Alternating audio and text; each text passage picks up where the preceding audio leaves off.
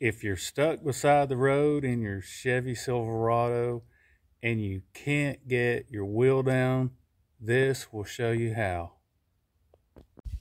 In order to lower it, you want to turn it counterclockwise. So if this was your handle, you would be turning it down. And when you want to raise it, you just turn it clockwise. Just like the hand of a clock. And that will raise it up for you. If you're at the back of your Chevy Silverado, you want to use this end to put it in there. And it may feel, it feels like it's on there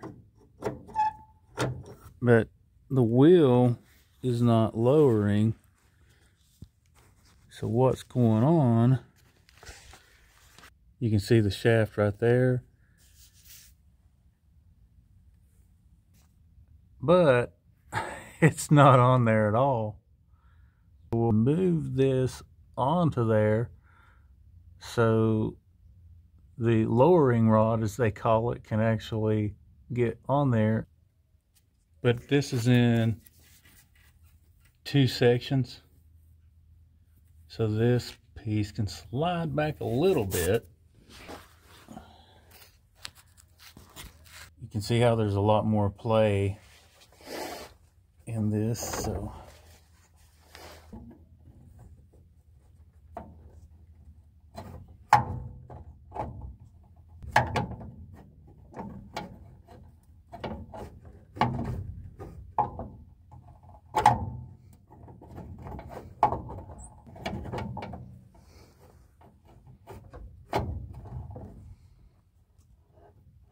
now it's on solid there. Obviously, it's not getting enough WD-40 or lube on it, so that's part of the problem. And this is a close-up, and let's just see if it'll turn.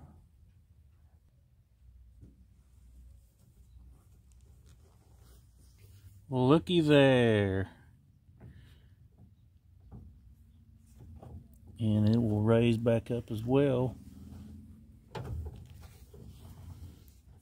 But while I'm doing this, I think it's a great time to clean this up here.